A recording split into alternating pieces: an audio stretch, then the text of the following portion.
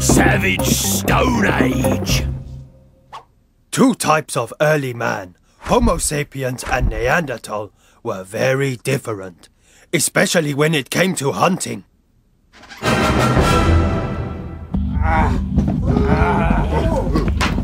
Right, good morning.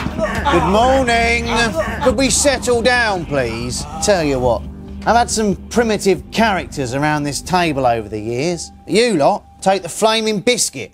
Two words for you beard trimmers. Boardroom presentation is 50% of the battle. New lot look like you've been dragged through a hedge backwards. Actually, Sugar, me have by Mega Bear. It's Lord Sugar to you, but thank you, that explains it. Now, in business, you need that killer instinct. So your task was to go out hunting. Team Neanderthal, who was your project manager? Uh, Grunt was project manager. And was he any good? What do you think? Hmm.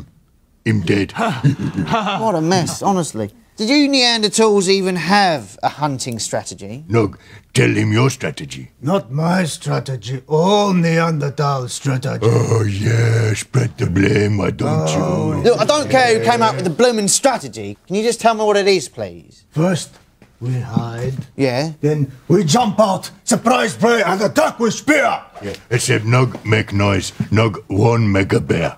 No, I'll make noise. No, Nog make noise. Make Nog noise. make noise. Ah! In short, the Neanderthals were cut to pieces and the mega bear walked away with just a couple of scratches. Taking on prey head on is clearly a very high risk strategy. At least the Homo sapien team here don't look like they've gone 10 rounds with a mega bear. What was your hunting strategy?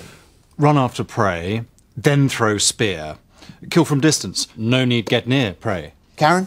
That's right, Lord Sugar. The Homo sapiens are good runners, and they've developed a throwing javelin, which means they don't need to get dangerously near their prey. Right, OK. Nick, let's find out how the teams did then. Well, Team Neanderthal did manage one kill. True. True. True. Are you taking the mick? You telling me that three of you went out there, only two of you came back alive, and all you brought back with you was that shrew? Yeah, put it like that. It's not very good, is it? No, it's not. How did the Homo sapiens do? Well, they killed two wild pigs, three deer, and a sort of badger thing with big teeth. But no shrew.